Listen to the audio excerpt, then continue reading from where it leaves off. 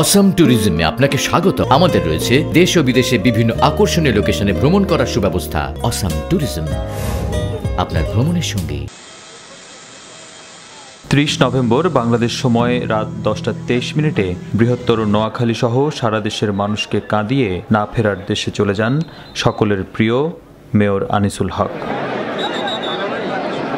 Mayor নির্বাচিত হওয়ার পর যান্ত্রিক এই শহরের মানুষকে নতুন করে স্বপ্ন দেখানো স্বপ্নবাজ এই মানুষটি সবাইকে কষ্টে ভাসিয়ে বনানী কবরস্থানে মায়ের পাশে ছেলের কবরে চিরনিদ্রায় শায়িত হয়েছেন।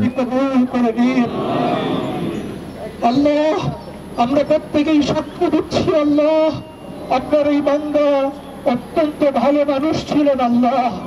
আব্দুল আলমিন আপনার এই বান্দার পক্ষে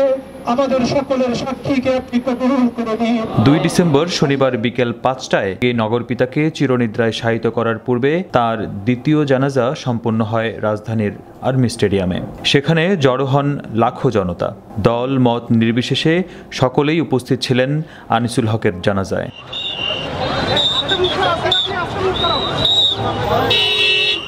আওয়ামী লীগ, বিএনপি সহ বিভিন্ন রাজনৈতিক দলের নেতাকর্মী সংস্কৃতিকর্মী সরকারি কর্মকর্তা কর্মচারী ও সর্বস্তরের জনতা উপস্থিত হন তার জানাজায়।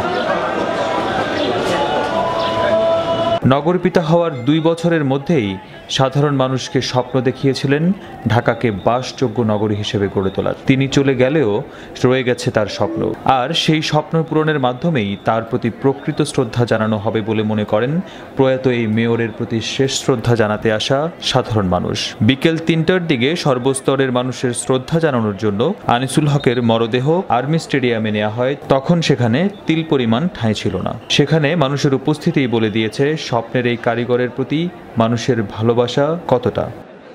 তার প্রতি শেষ শ্রদ্ধা জানাতে সেখানে ভিড় করেন লাখো জনতা।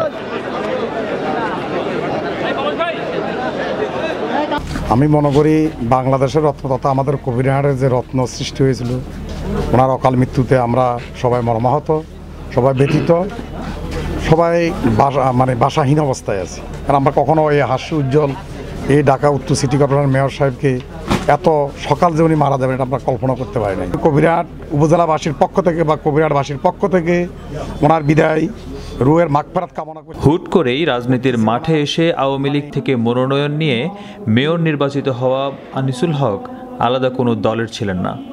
ছিলেন না কোনো জাত কিংবা ধর্মের। সকল বিভেদকে পেছনে ফেলে এগিয়ে নিতে চেয়েছেন এই শহরকে। নিরপেক্ষ অবস্থানে থেকে শহরের উন্নয়ন কাজ করে যাওয়া আনিসুল হকের প্রতি তাই শেষ শ্রদ্ধা জানাতে আসেন প্রধানমন্ত্রী সহ সকল দলের নেতাকর্মীরা।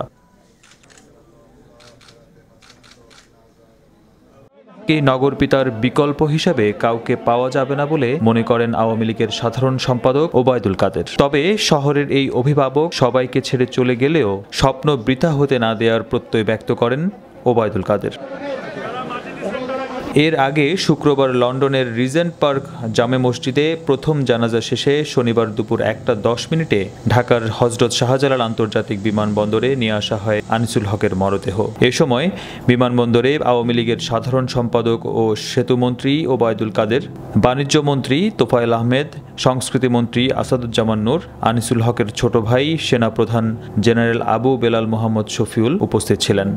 গত উনত্রিশ জুলাই নাতির জন্মদিন উপলক্ষে যুক্তরাজ্যে যান রুবানা হক ও আনিসুল হক। সেখানে হঠাৎ অসুস্থ হয়ে পড়েন তিনি। তেরো আগস্ট তাকে লন্ডনের একটি হাসপাতালে ভর্তি করা হয়। পরীক্ষা নিরীক্ষার পর তার মস্তিষ্কে প্রদাহজনিত রোগ, সেরিব্রাল ভাস্কুলাইটিস শনাক্ত করেন চিকিৎসকরা। হাসপাতালে ভর্তি থাকা আনিসুল হকের অসুস্থতা বেড়ে যাওয়ায় মঙ্গলবার লন্ডনের দ্য ওয়েলিংটন হাসপাতালের আইসিইউতে রাখা হয়। পরবর্তীতে বৃহস্পতিবার বাংলাদেশ সময় রাত দশটা তেইশ মিনিটে তাকে মৃত ঘোষণা করেন চিকিৎসকরা।